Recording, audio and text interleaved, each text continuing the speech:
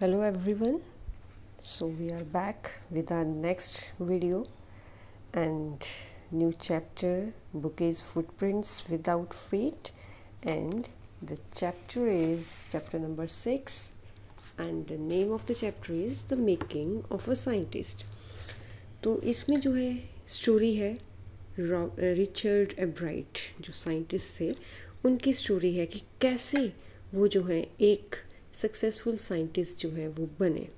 So here is its introduction so Richard Ebright has received the Cyril Scholar Award and Skering Plough Award for Biochemistry and Molecular Biology. तो कई सारे इन्होंने awards scholar awards लिए हैं biochemistry में और molecular biology में। It was his fascination for butterflies that open the world of science to him तो ये जो है, इनकी साइंस में इनका इंटरेस्ट कैसे हुआ? तो बटरफ्लाइज की तरफ़ इनका जो आकर्षण था फैसिनेशन था, उसी के कारण जो है साइंस की तरफ़ जो है साइंस वर्ल्ड में जो है, इनकी एंट्री हुई, इनका इंटरेस्ट जो है, वो बढ़ा।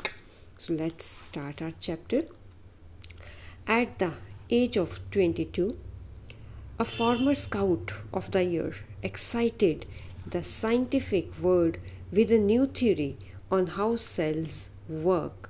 तो 22 इयर्स की एज में जो है, ये जो कि लास्ट ईयर के स्काउट ऑफ़ द ईयर जो बने थे तो वो जो है साइंटिफिक वर्ड में जो है, उन्होंने एक नई थ्योरी लाई कि सेल्स जो है बॉडी सेल्स होते हैं ना, बायो में पढ़ा होगा तो वो कैसे वर्क करते हैं Richard H. Ebright and his colleague, uh, college roommate, explained the theory in an article in the Proceedings of the National Academy of Science. तो रिचर्ड एच ब्राइट अपने कॉलेज रूममेट के साथ जो है उन्होंने इस थ्योरी को जो है वो एक्सप्लेन किया एक जर्नल बोल लो आपके इनकी बुक मैगज़ीन बोल लो तो नेशनल एकेडमी ऑफ़ साइंस जो थी उसमें उन्होंने अपने आर्टिकल में ये सारा एक्सप्लेन किया It was the first time this important scientific journal has ever published the work of college students. तो मोस्टली वो जो थे साइंस स्टूडेंट साइंटिस्ट के वो प्रोफेसर्स के वर्क्स को जो है, अपने के जर्नल में जो है वो प्रिंट करते थे लेकिन फ़र्स्ट टाइम था कि कॉलेज स्टूडेंट के काम को जो है वो पब्लिश कर रहे थे in sports that would be like making the big leagues at the age of 15 and hitting a home run your first time at bat. तो कहते हैं कि स्पोर्ट्स में जैसे है कि बड़े बड़े मैचेस में जो है, अपने 15 की एज में जो है, जैसे अब बड़े बड़े लीग्स मैच खेलते हैं तो उसमें जो है वो अपने बैट से फ़र्स्ट टाइम जैसे सेंचुरी मान ले तो उसके टाइम जो है, उस टाइम कैसे वो फ़ेमस होते हैं? तो ऐसे कुछ इसमें जो है, वो हुआ। वैसे तो ये बेसबॉल की बात हो रही है, मैंने आपको क्रिकेट के उससे बताया है। For Richard Ebright it was the first in a long string of achievements in science and other fields तो रिचर्ड ब्राइट के लिए ये फ़र्स्ट टाइम था कि इतनी बड़ी अचीवमेंट साइंस और दूसरी फील्ड्स में उनको मिल रही है। And it all started with butterflies और ये सारा काम जो है वो कैसे स्टार्ट हुआ? बटरफ्लाइज के साथ। An only child Ebright grew up north of Reading तो अपने इनकी मदर का ओनली चाइल्ड था ये, एक ही बच्चा था। तो the only child an only child Ebright grew up north of Reading Pennsylvania तो पेंसिल्वेनिया में जो है वो ऐसे बड़े हुए। There wasn't much I could do there he said तो अपने किसी इंटरव्यू में उन्होंने बताया होगा कि वो जो है, वहाँ पर पेल्सन वेलिया में जो है, वो ज़्यादा उनके पास करने के लिए कुछ नहीं था। I certainly couldn't play football और baseball with a team of one तो कहते कि मैं अकेला ही था तो अकेला तो बेसबॉल या बास्केटबॉल कुछ नहीं खेल सकता था फुटबॉल भी नहीं खेल सकता था। But there was one thing I could do collect things तो बस वहाँ पर एक चीज़ थी जो मैं कर सकता था तो डिफरेंट थिंग्स को कलेक्शन सो ही डिड तो मैंने कहते, किया. एंड डिड ही एवर और वो हमेशा करते रहे। Beginning in kindergarten Albright collected butterflies with the same determination that has marked all his activities तो किंडर गार्डन जब इनके स्कूल जाने शुरू हुए नर्सरी के जी में भी, तब भी जो है बटरफ्लाइज वो जो है पूरी डिटर्मिनेशन के साथ, पूरे इंटरेस्ट के साथ, जैसे दूसरी एक्टिविटीज़ करते थे, वैसे ही उसमें जो है वो करते गए। He also collected rocks fossils and coins मतलब कि जो भी मिलता था, ऐसे रॉक्स मिले, कुछ छोटे छोटे फॉजिल्स मिले कॉइन्स मिले, वो भी कलेक्ट करते। He became an eager astronomer too sometime stargazing and all night तो एस्ट्रोनॉमर की तरह जो है, सारी रात तारों को ही देखते रहते थे वो। From the first he had a driving curiosity along with a bright mind तो स्टार्टिंग से ही जो है उनमें, के अंदर जो है वो क्यूरियोसिटी थी। उनके माइंड में जो है वो कुछ ना कुछ चलता रहता था, ये क्या है, कैसे है, क्यों है?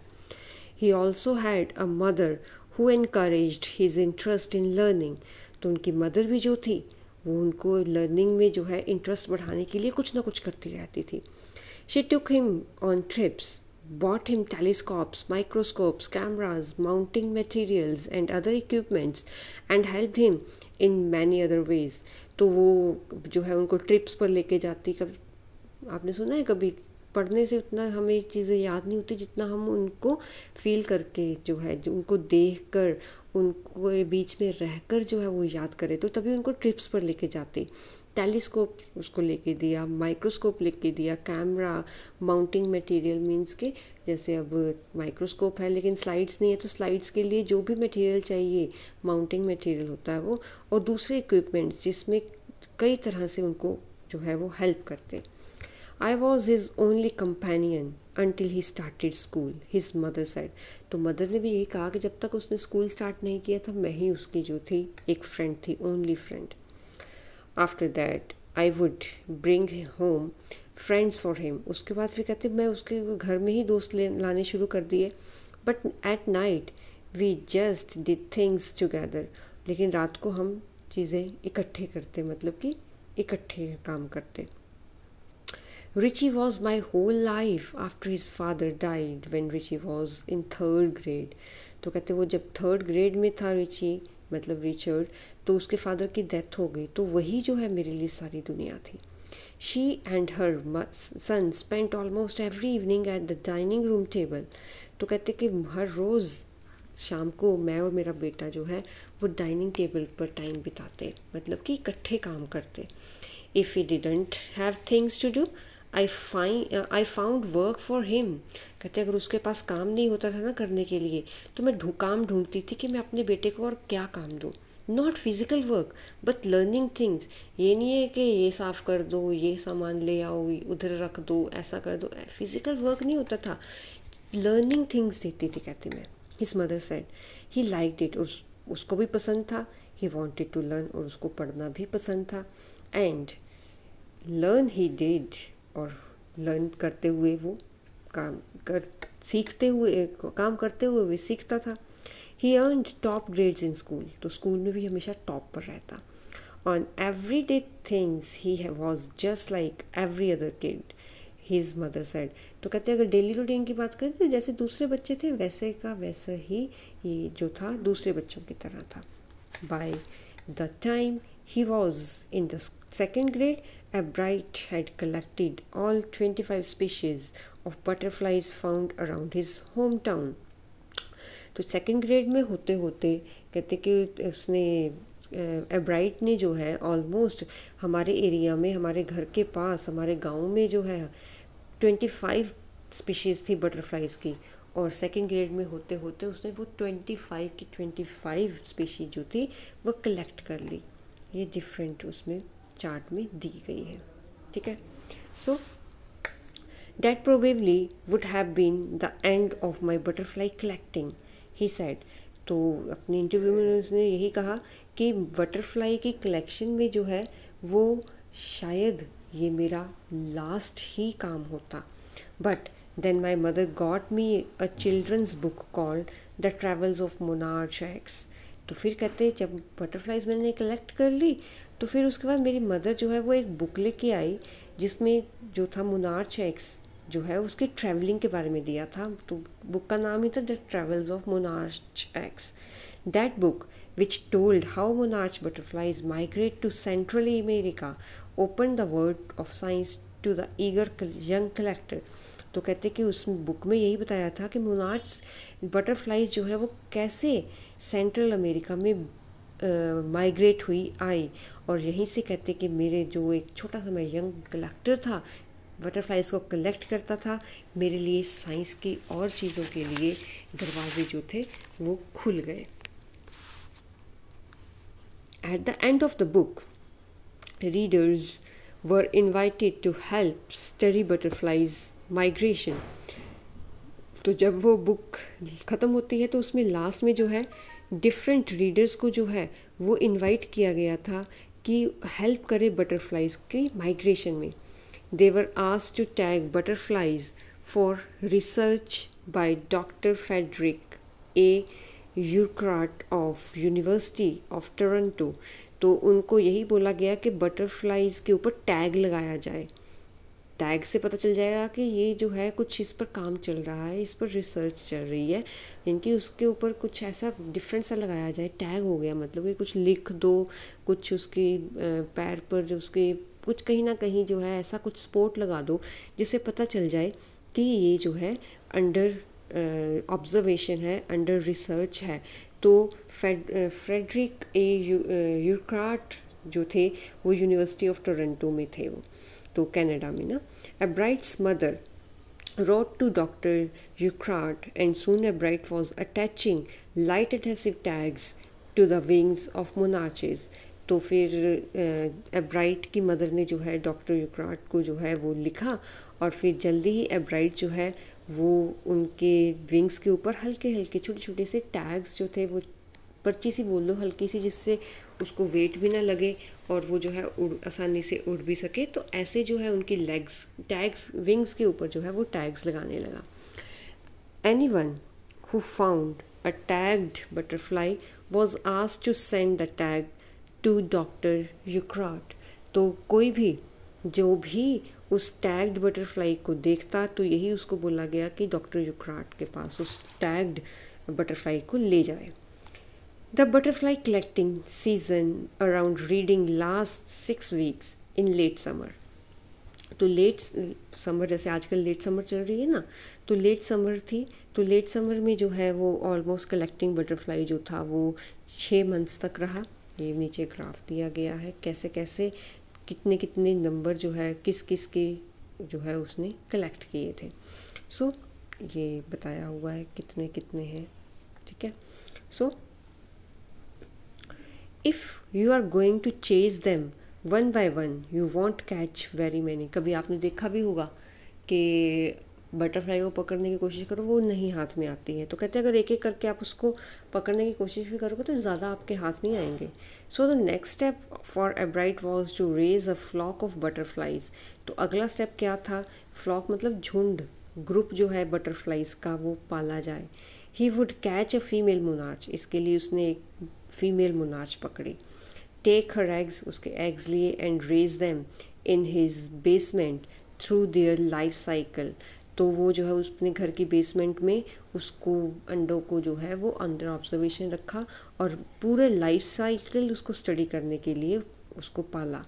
From egg to caterpillar six seven में आपने पढ़ा है ना बटरफ्लाई का लाइफ साइकिल तो एग से कैटरपिलर तक होता है कैटरपिलर के बाद वो प्यूपा बनता है प्यूपा के बाद वो बटरफ्लाई बन जाता है। Then he would tag the butterfly's wings and let them go फिर उसके बाद फिर जो है बटरफ्लाइज की विंग्स के ऊपर टैग लगाता और उनको जाने देता।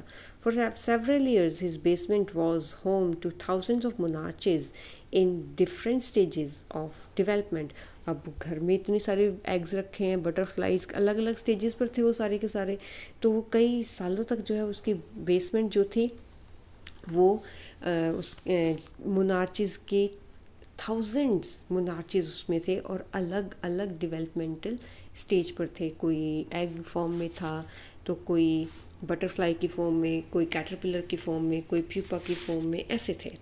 So eventually I began to lose interest in tagging butterflies तो धीरे धीरे आप एक काम करते जाओगे तो आपका इंटरेस्ट भी ख़त्म हो जाता है ना। तो कहते हैं ऐसे धीरे धीरे करते हुए मेरा इंटरेस्ट जो था वो बटरफ्लाई की टैगिंग में खत्म ख़त्म होता जा रहा था।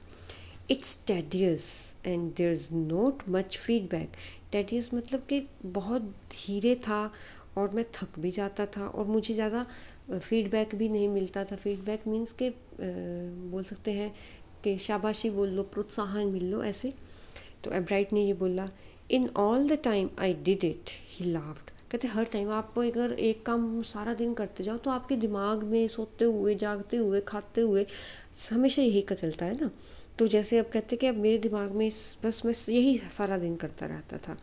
Only two butterflies I had tagged were recaptured तो सिर्फ़ दो बटरफ्लाइज ही जो मैंने टैग की थी तो उनमें से सिर्फ़ दो बटरफ्लाई ही दोबारा पकड़ी गई। And they were not more than seventy five miles from where I live तो सिर्फ़ सेवेंटी फाइव माइल्स ही दूर जो है उसके घर से, जिनकी पकड़ी गई दूर, उससे आगे वो शायद नहीं गई। तो बाकियों का पता ही नहीं, उसने थाउजेंड्स के अकॉर्डिंग जो है वो पकड़, वहाँ पर रेयर की थाउजेंड्स के अकॉर्डिंग उसने टैग्स लगाए थे। लेकिन उसके हाथ में सिर्फ़ कितनी आई? ओनली टू बटरफ्लाइज रिकैप्चर्ड तो इस कारण जो है उसका इंटरेस्ट जो है वो ख़त्म होना शुरू हो गया। ठीक है तो आज के वीडियो में इतना ही। नेक्स्ट वीडियो में नेक्स्ट लेक्चर के साथ आगे हम इस चैप्टर को रीड करेंगे।